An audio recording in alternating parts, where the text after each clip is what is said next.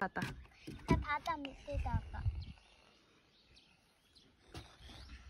엄마, 엄마도 바다 그려. 그럴까? 네. 꼭 어, 바다 색깔로 해, 안 해도 돼. 자,